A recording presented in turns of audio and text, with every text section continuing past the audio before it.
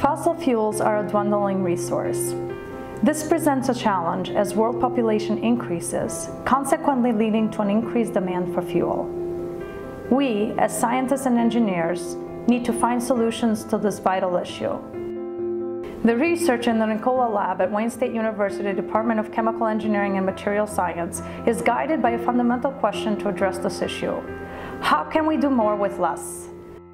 Our objective is to change the future energy landscape through catalyst design. Catalysts are a group of materials that enhance the energy efficiency of chemical processes important to our everyday life. These materials help molecules react faster by creating new and elegant routes that allow these molecules to meet and interact in the most efficient way. This is analogous to having to climb a high mountain to get from one destination to another. In this scenario, the catalyst would be a tour guide that facilitates getting you to the same destination through a path that is lower in elevation and requires that you use less energy. Imagine now applying a similar approach to our energy challenge. Catalysts can save the world a lot of energy and resources.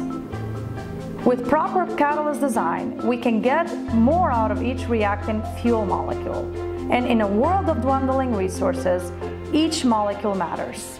An interdisciplinary team of postdocs, graduate, undergraduate, and high school students in the Nikolla Lab applies a bottom-up approach where computational tools combined with experiments are used to engineer old materials or discover new ones for a number of energy-related applications, such as fuel cells, electrolyzers, batteries, and efficient utilization of renewable energy sources.